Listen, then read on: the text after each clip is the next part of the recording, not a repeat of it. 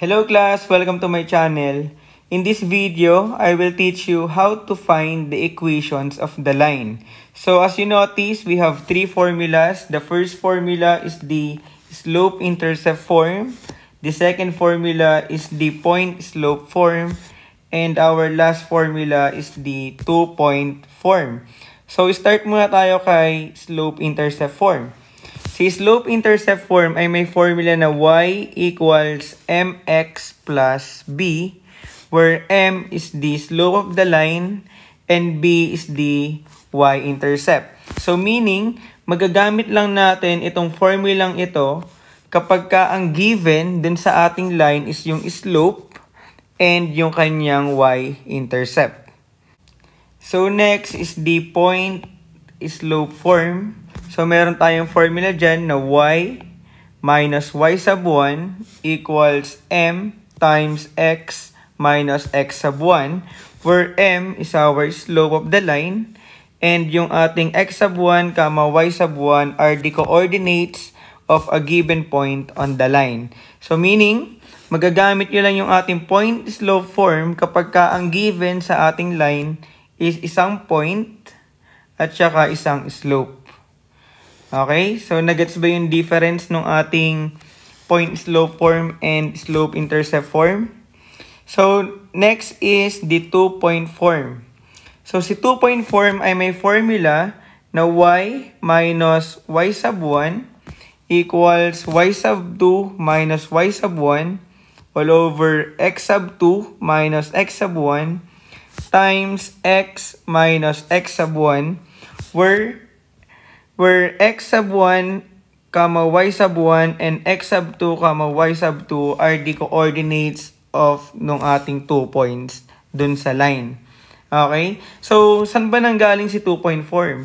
Si 2-point form, guys, is kung mapapansin nyo, is almost the same lang nung ating point slope form. Yun nga lang dito kay 2-point form, hindi given yung slope. Kaya instead na slope yung nilagay dun sa ating formula, ang, ang nilagay nila dito is yung ating slope formula. Okay? So, nakita ba yung difference ng tatlong formula? So, let's have example number 1. So, write the equation of a line with slope negative 2 and y-intercept 3. So, kung mapapansin nyo dito guys, ang given sa ating example is merong slope and y-intercept. So meaning, ang gagamitin nating formula dito is yung ating slope-intercept form na may formula na y equals mx plus b. Okay? So kung saan yung ating slope na m is equal kay negative 2 and yung ating b na y-intercept is equals to 3.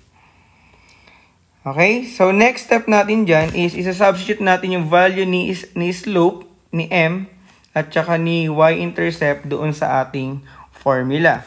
So, we have y equals m, which is negative 2. Then, x plus b. So, ang b natin dito is yung at 3. Okay? So, therefore, ito na yung ating equations of the line. Okay? Then, kung mapapansin nyo, yung equation of the line natin is in the form of y ng ating slope intercept form. So, maraming klase guys kung para natin ilalagay ang ating final answer. Pwedeng naka-slope intercept form, then pwede rin namang nakasulat as standard form. Okay, kung tandaan nyo pa yung mga lesson nyo dati, pag sinabing standard form ng ating linear equation, that is in the form of ax plus by equals c. Kung saan lahat ng variable is nasa left side ng equation, then yung nasa kanan is yung constant. So, just in case na ire-rewrite nyo yung ating slope-intercept form to standard form, ang gagawin nyo lang is ililipat niyo yung negative 2x sa left side ng ating equation. Kung negative siya dun sa right side, pag nilipat niyan, we have positive 2x, then plus y equals 3. So, pwede rin ito yung ating final answer in standard form. Okay? So, next, let's have example number 2. Write the equation of the line with slope 2 that passes through the point negative 1, comma 5. So, in this example, may dalawa tayong given. The first given is yung ating slope, which is 2. Then, yung second given natin is yung ating point dun sa line, which is negative, comma 5. So, therefore, ang formula na gagamitin natin is, is yung ating point slope form na y minus y sub 1 equals m times x minus x minus x sub 1. Okay? So, ang slope natin dito is yung, or yung m natin is yung 2. Then, yung ating x sub 1 and y sub 1 is yung point. So, dito ang ating x sub 1 is yung negative 1. Then, yung 5 is yung ating y sub 1. Okay, so try natin ngayon i-substitute yung ating mga given dun sa ating formula. So, y minus y sub 1. So, ang y sub 1 natin is 5 equals m, which is 2, times x minus x sub 1. We have negative 1. Okay, so simplify natin yung ating equation. We have y minus 5 equals 2. Then, yung binomial natin sa loob, we have 2 negatives. So, yung 1 natin magiging plus 1. Okay? So, pwede na natin itong gawing as final answer. Then, itong equation of the line natin, ang tawag dito is nasa form siya na point slope form. Okay? So what if naman gusto natin siyang isulat as slope intercept form? Okay? Just in case na gusto niyo siyang gawing slope intercept form na ganito yung itsura, y equals mx plus b. So kailangan ang maiwan lang sa ating left side is yung y. So, ang gagawin nyo dyan, si negative 5, ililipat natin dun sa kabila. So, ang mangyayari, we have y equals 2 times x plus 1. Then, yung negative 5 sa left side, pag nilipat mo yan, magiging plus 5. Okay? Then, simplify natin yung equation. Distribute mo yung 2. So, that is y equals 2x plus 2 plus 5. Then combine like terms, we have y equals 2x plus 7. So ito yung ating equation of the line in the form of slope-intercept form. Okay? So dito guys, uh, kailangan basahin nyo yung instruction kung saan equation nyo ilalagay, or, or, or kung saan form nyo ilalagay yung inyong equation. Pero minsan, pwede nang ito yung ating final answer kung ang pinapahanap lang naman is yung equation of the line in the form of point slope. Then, minsan naman, kung pinasulat sa inyo ng slope-intercept form, ito yung ating final answer. So, next, let's have example number 3. Find the equation of the line passing through the points negative 2, 4 and negative 6, 1. So dito guys, um, kung mapapansin nyo may dalawa tayong points na given.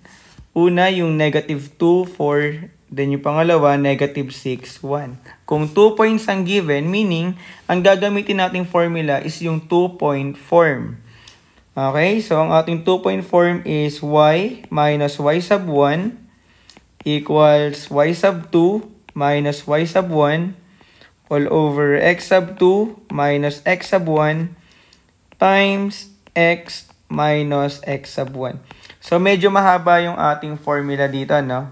So, identify na natin kung sino ba yung x sub 1, y sub 1, and ating x sub 2, y sub 2. So, normally, yung naunang point, yan yung ating x sub 1, And ito yung ating y sub 1. Then yung sa pangalawang point, x sub 2, y sub 2.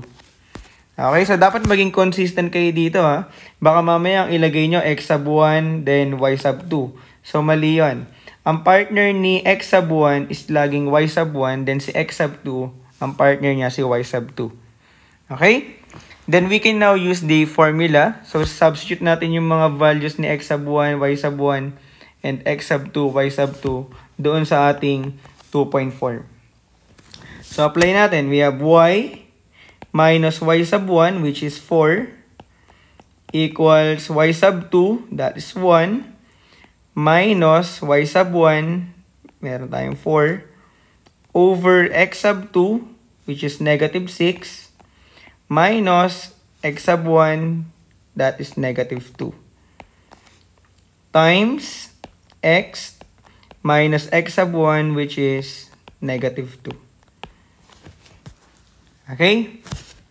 So next step, simplify natin yung ating equation. We have y minus 4 equals 1 minus 4, this is negative 3, over negative 6 minus negative 2.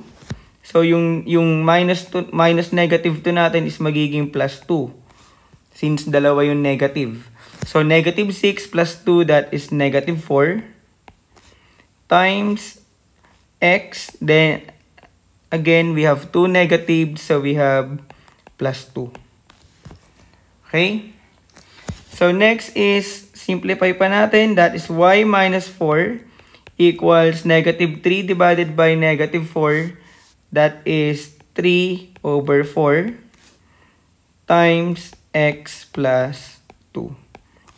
So, pwedeng ito na yung ating final answer. So, itong form na to is yung ating point slope form. No? So, ito yung ating equation of the line. So, again, just in case na ipagawa sa inyo tong slope-intercept form, ang slope-intercept form natin is y equals mx plus b. So, try nating i-rewrite yung ating equation para alam nyo rin kung paano gagawin. Okay?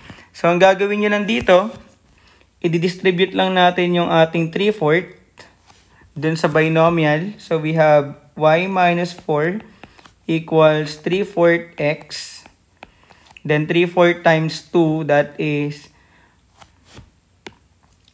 So, 3 4 times 2, that is 6 over 4. Okay? So, ito ay 3 4 x plus 6 over 4.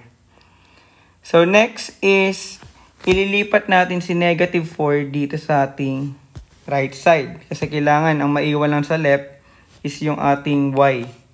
Okay? So, that is y equals 3 4 x plus yung 6 over 4, that is 3 over 2. Then, yung negative 4 pag nilipat, that is positive 4. Then, combine natin yung 3 over 2 plus 4. So, we have 3 fourth x. Then, 3 over 2 plus 4. That is, so kung ito, i-rewrite natin to fraction, that is equivalent to 8 over 2. Okay? So, kung same na sila ng denominator, pwede na nating i-plus yung ating constant. So, that is 3 fourth x Then, 3 over 2 plus 8 over 2, that is 11 over 2. So, ito yung ating equation of the line in the form of um, slope-intercept form. Okay? So, hindi naman laging gagawin nyo na slope-intercept form yung ating final answer. Kung wala naman sinabi si teacher na gawin ito, pwedeng ito na yung ating final answer, yung una nating equation sa taas. Okay guys? So this is the end of our video. If you have questions or clarifications, kindly put them in the comment section below. So thank you guys for watching. This is Prof D. I'll catch you guys on the flip side. Bye!